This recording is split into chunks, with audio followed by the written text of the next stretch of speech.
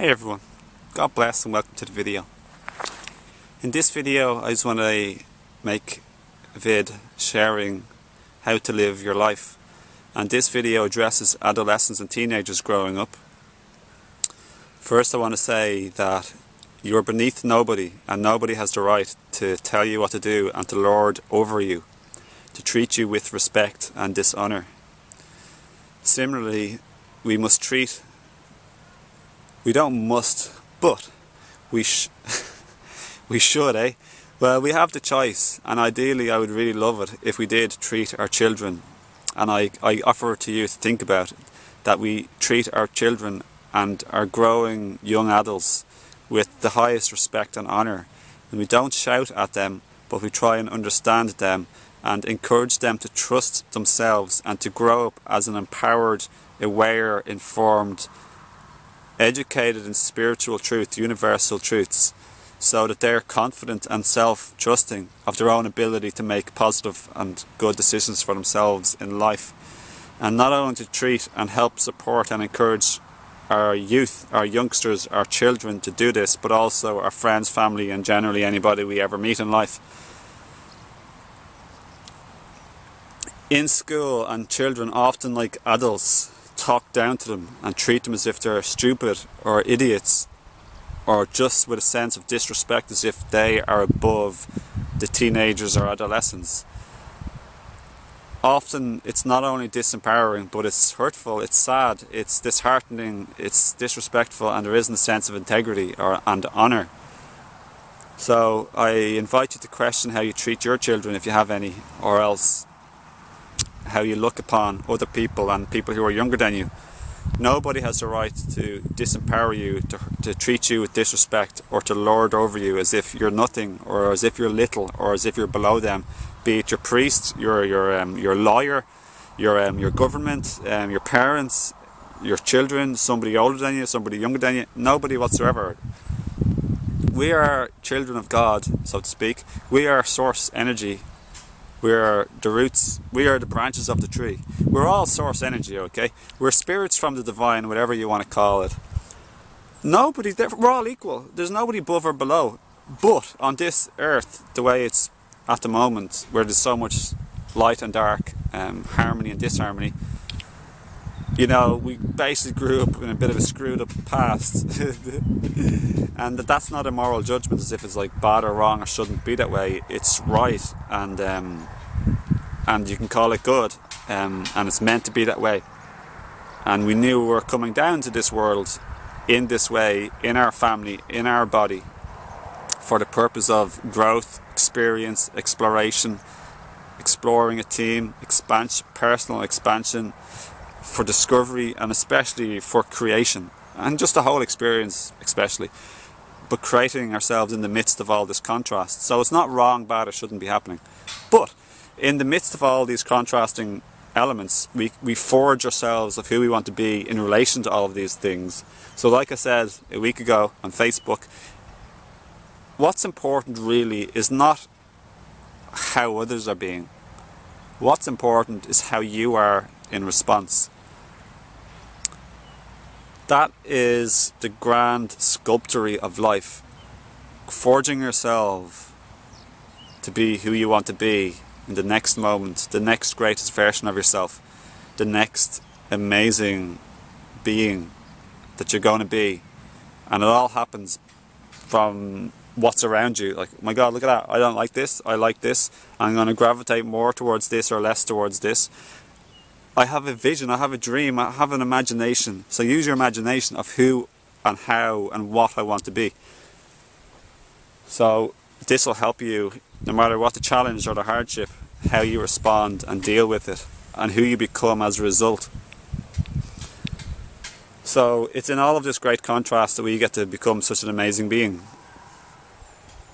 Yes, life can be hard, but it's amazing, it's magical, and amidst all the hardships, there's the beauty of ordinary daily life. The trees, the grass, the birds, the butterflies, the, every human being.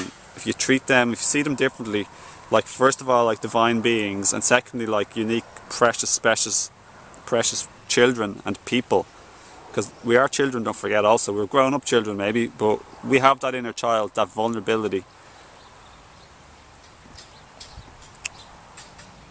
And we're all trying our best, but to respect and honour people. And that doesn't mean you have to be their best friend, but do have the respect and honour. So, how you should live your life is not based on what other people tell you to do or how they say you should live, but it's you should do what you want to do. So, for children, teenagers shouldn't don't go to college if you don't want to. Don't just like get caught up in the system because they tell you to. The system is wired to make workers and to get involved in the medical system where they make trillions and billions. The system is basically corrupt, largely, guys. Like, and I'm not saying it's all bad, and there's lots of good things in the system. I'm not trying to say to be against the system. Don't be against the system whatsoever. But there is a lot of corruption and disharmony and ego, if you want to call it that. so, the, the remedy, the truth, is to get informed and to be aware so you can make conscious decisions instead of unconscious reactions where you're just sort of like a reactive chemical, like a robot, sort of.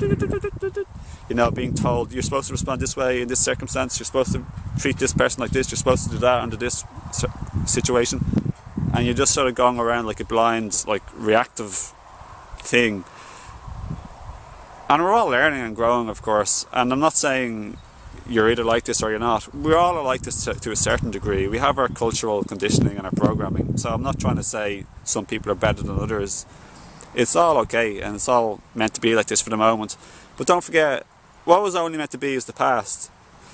But the future, while it, while you can say it's meant to be after it happens, the future is open, and this now moment is the moment of choice and possibilities and creation and opportunity. So I personally left college. I, I left school. I finished school and I, I hated school. Just happened to be my life experience. I was sad and lonely and insecure and I had a lot of emotional and mental issues. I hated school. For whatever happened, I just never had any friends in school. I had acquaintances, but I was sad and lonely. I hated school. I was a little bit bullied, but not really too badly. But I was more just sad and lonely. I hated school. I was very anxious thinking about school in the evening before and going to school or getting up for school. I went to mainstream school. Mainstream school is far more conditioned than other schools. Some other schools like will be mixture of boys and girls. Mine was unnaturally all one single sex. But I always had like a million friends outside of school. But the way the world orchestrated it, I had no friends in school. So I had acquaintances. Like I wasn't a complete loner, but I found it very sad and hard. And I was I was finished when I when school was finished. I had enough. Like I was finished even before school finished.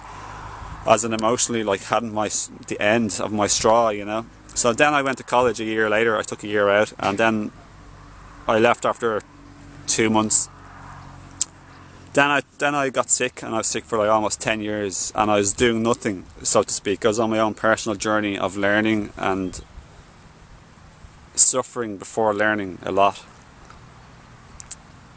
So, what I'm trying to say is, I was a so-called down and out or like a bum or like I wasn't. There's another story about me, but what I want to say to you, if you're a teenager or an adult, live your life based not on what other people tell you to do or should do, but what you really want to do. Get into what you're interested in, excited about, and passionate about, what you're drawn to, and what you like and love. If that's dancing, acting, working with your hands is like some some form of like um, like a carpenter or electrician or whatever, um, a roofer or a plumber. Just you know, there's honor and integrity. It's all about what you do. There's there's nothing worse. There's nothing better about being a doctor than being like a house maintainer. Maintainer. It's about how you do it and what you like, what you really are really really really like. So luckily for me, I never got to do except for the two months of science and oh yeah, I did two years of something else. Oh man, yeah, yeah, yeah, that was I didn't like that either. Fitness instructor and leisure management.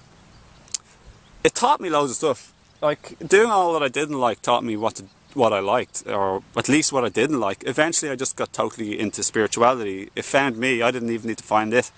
So just do what you like. If you want to work at an organic farm, do. If you want to work in an ordinary shop, do. You can mix it up. You can do lots of different things. don't be told how to behave. You behave how you want to. We're all entitled to be who we are and how we are. And that's always changing by the moment, of course, as we learn. And as we experience like pleasure or suffering, eh, we, we get drawn on away certain things. So, like, I don't tell my partner Sally to do stuff that I do or like, and she doesn't tell me to do stuff that she does or like. We might share some things sometimes or say, hey, do you want to do this or do you want to look at that? We must honour and respect everybody.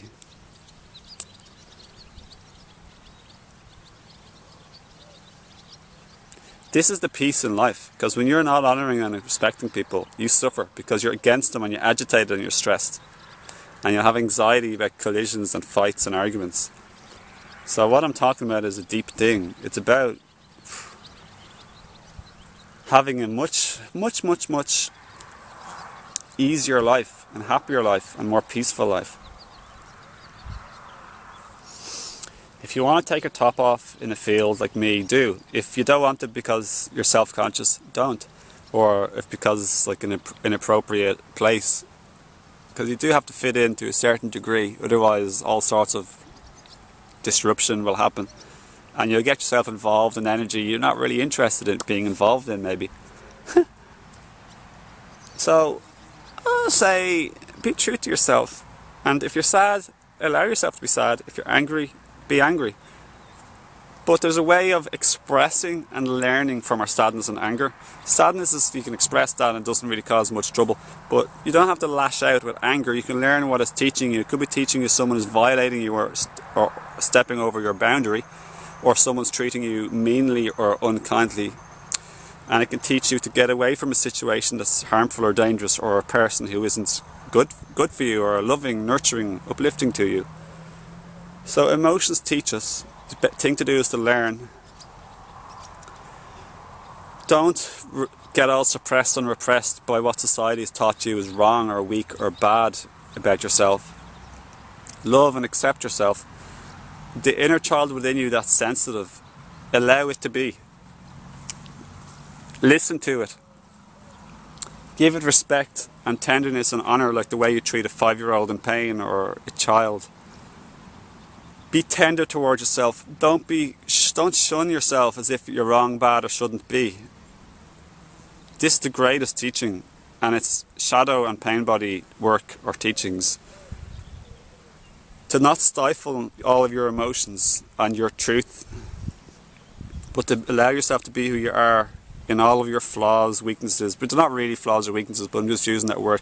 In all of your ways, flaws, weaknesses, etc., and everybody else, because allow people their humanity and their like mortality, their imperfection. But we are perfect. We are. We are. How are you? Are you perfect? Sally asked me this the other day. Oh, well, how would you respond if I said, "Are you perfect?" yeah, I said, "Well, I'm not perfect." But uh, then I went on to say, well, I'm perfectly imperfect. And she was saying, yeah, I think it's good to say you are perfect. And I agreed with her, like, even though it might sound bad, but you explain to someone, yeah, I'm perfect. And in saying you're perfect, you're allowing and giving them the demonstration and understanding that they are perfect too. You are perfect. You are perfect. Um, but that's not to say you're arrogant. You know, that's a different thing. Because you are perfect and I'm perfect and we're learning and we're still perfect. That we truly are perfect. So love your perfections and your, if you want to call them your weaknesses or imperfections or flaws. I'm just using those words, okay? We all know what they mean, you know. Sometimes we're intolerant or someone else is narky or cranky or sometimes we just don't know what to do and things happen and sometimes we end up in a mess. Accept it, learn from it, change the next time. Always learning and changing. Have peace towards your insecurities, your vulnerabilities, your sadness, what society will call weak or bad or tell you you shouldn't be like that. You don't have to hide in the closet, you know. Like some things that were hidden about is like sex, um, masturbation, um, being gay, uh, nudity, cursing, um, um, they're generally some very hung up and delicate subjects that we're very ashamed of. We don't have to be ashamed anymore, okay, guys? And we don't have to be hurtful or reckless or careless too. Like we don't have to go out running naked on the street, which is like inappropriate and that's not going to do anyone any good. But we don't have to be ashamed of our body anymore. We can let go of that and our genitals. They're beautiful. God made us that way. Or should I say, like the source beings that we are, we know physicality is what we're coming into. We don't have to be against it. We know we're coming here to play the game and to create the life and to learn and explore themes of abandonment or rejection. Feel those feelings, the pain, let them out. Rethink of the pain we've had in the past. We won't let it out until we re-experience it as it's leaving us. So I have to like allow and feel all the pain and hurt. It's okay to be. We can punch pillows in anger and cry and trash like the punched pillow or the bed or something soft. Like we can yell and scream when we're upset and angry. You know, generally on our own rather than having a big like fit in public. so I'll be a little bit humorous now.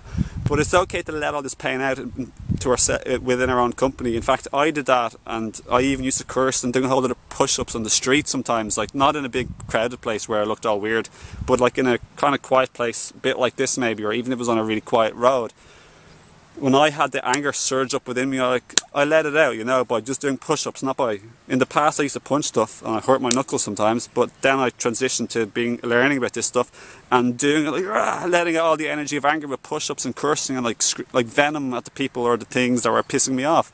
It's okay to be pissed off, so let go of the suppression, the repression, and learn from the emotion re-feel the feelings instead of holding them down like a big ball under the water, a big beach ball. It's like hard to hold things down and then it springs up. You know, you can be all Mr. Nice and then suddenly someone cuts you off in traffic and you're like, fuck you, asshole. Like you're really pissed off and angry, you know. You want to kill the person. That's like the shadow like coming up. It's the, the beach ball that we've been holding down under the water and it's so hard to hold down.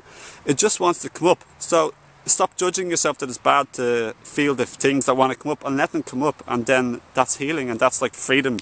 That's like getting better in life. It's like healing. And that's the way I'd say just my little thing how you should live your life. And um, it's not really how you should but I'm I'm just gonna call this video that probably.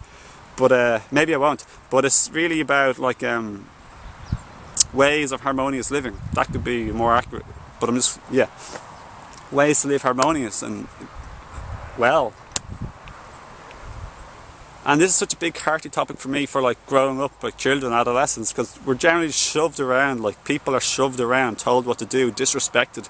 As if you're nothing beneath me, below me, you know, I was gonna tell you what to do, cause a whole lot of disrespect. You can't you can't go to the toilet, like even have to ask to go to the toilet in certain public schools. I don't recommend public schools generally.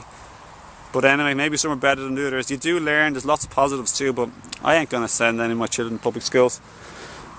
There's lots of other schools maybe you could choose from, or else just choose the best public school. Like, I don't want to create any hang ups about, oh my god, you know. Many children love public school. So you don't have to do my way, and my way changes.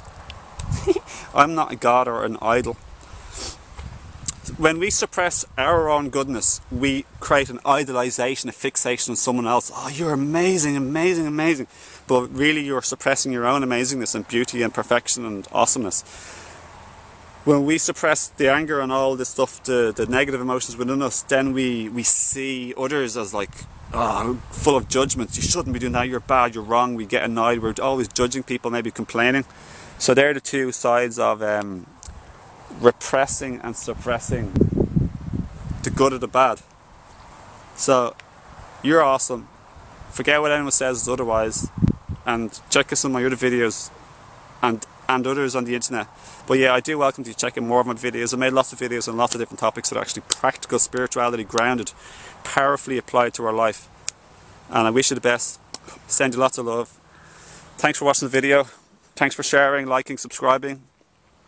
And I truly wish you a glorious day, my friends, a fantastic day, a splendid day. Stay well, healthy, fit, strong. Look after yourself, your body, your mind.